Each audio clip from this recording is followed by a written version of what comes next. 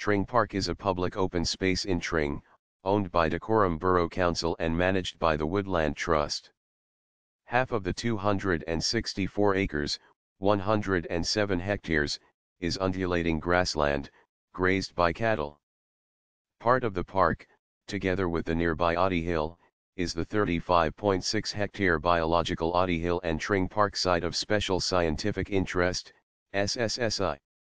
The park was formerly the garden of Tring Park Mansion, built in 1682 by Christopher Wren and altered externally in the 19th century.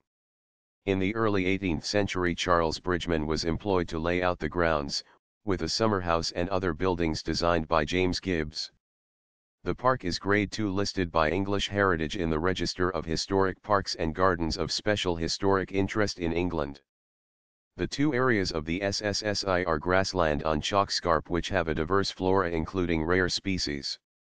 Much of the parkland is managed by grazing, but ungrazed scrub on sloping areas provides habitat for invertebrates and breeding birds.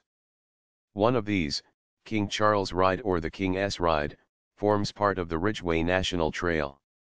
In 2013 work started to restore King Charles Ride by replanting a cirle of lime trees at the Rond Point and improving the vista over the park and town.